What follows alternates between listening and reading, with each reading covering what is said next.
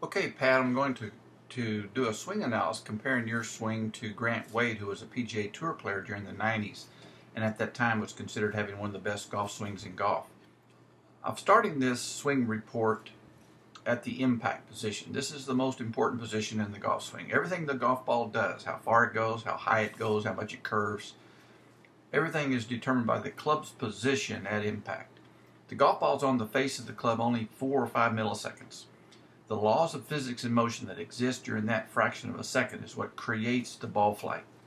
Your body's position is what determines the club's position at impact. Everything you do prior to impact has the sole purpose of arriving at a fundamentally sound impact position. So impact is the first thing I look look at. As I look at Grant Waite, I want to focus on a couple of things. I'm going to draw a box here uh, from the center of both ankles up to the top of his head and uh, do the same with, with your setup. One of the key things that you want to try to achieve with your golf swing, uh, particularly when the ball is on the ground and you're hitting an iron, it's critical that you hit down on a golf ball um, and that your attack angle is downward. In order to achieve that, the pros do a couple of things to make sure that the low point of their golf swing is in front of the golf ball towards the target. So they hit the ball and then the ground. One of the ways they achieve that is they make sure that their center of, of gravity, the, the center of their body mass, is on their left leg, is, and the center of their body mass is in front of the golf ball when they hit it. You can look at Grant, you can see that blue line passing right through his belt buckle, coming off his, his left leg. So he has the majority of his weight on his left foot at impact. The average pro will have 85% of their weight on the left side at impact. As I look at uh, your impact position, you actually have your more weight uh, kind of in the center. Um, your head is a little bit towards the back foot, more towards the back foot than the front foot. Um, and uh, that is going to make you come into the ball a little too level. And uh, Grant is coming down more into the golf ball. And when you come in level like this, it's going to create uh, too many opportunities to hit behind the golf ball, hit it fat, but also sometimes even hit it thin, so that you'll do both with with a level swing and not having enough attack angle you will uh, blade the ball sometimes or hit behind the golf ball sometimes. And so you won't get the proper compression and, and solid strike of the golf ball. The other thing that Grant does is he makes sure his hands are in front of the golf ball before he hits the ball. You can see how his hands are right on top of his left foot, right on that blue line. Your hands are a little bit further back, and, and uh, your hands are almost on top of the ball at impact instead of in front of the golf ball at impact. Now we're going to look at the start of the, the, swing, the one position, and see if there's things that we could adjust in your at the beginning of the swing to help you achieve a, a fundamentally sound impact position. Uh, Grant has his feet a little closer together, and that will help him get off the back foot and onto that front foot more consistently. He also is flaring this foot out just a little bit. You can see how that toe is tilt is turned just a little bit to the toward the target. That's a pretty common thing that you'll see on from tour players. Uh, it, it, feels a little bit odd at the beginning if you were to start doing that a little bit. I don't want you to do it excessively, but start turning that just a little bit.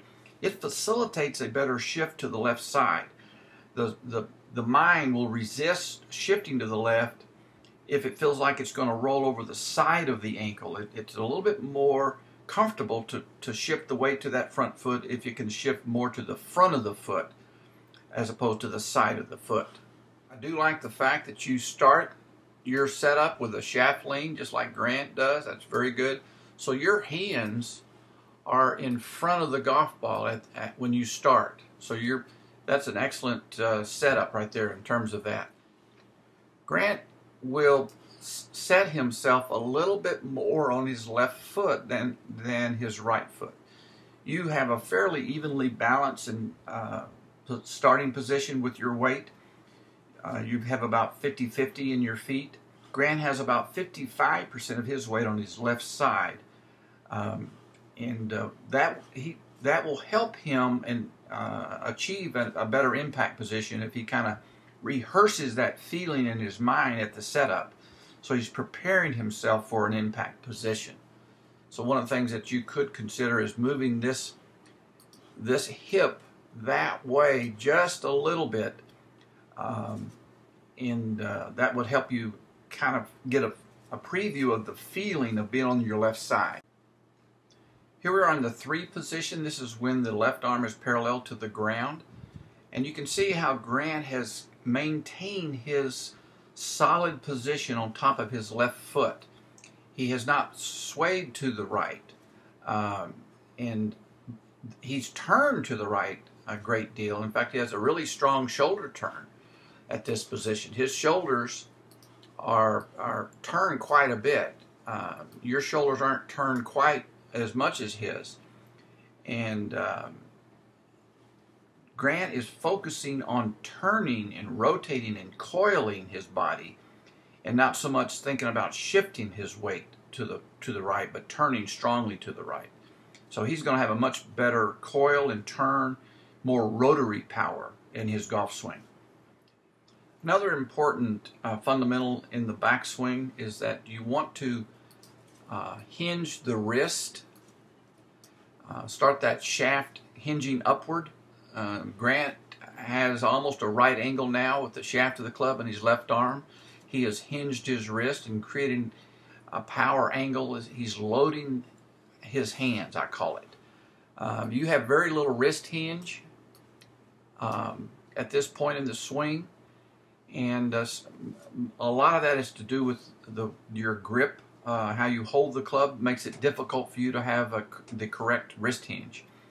You lose a lot of power because of this. A lot of the the, the uh, lack of club head speed that you have at impact has to do with how you load your hands in the backswing.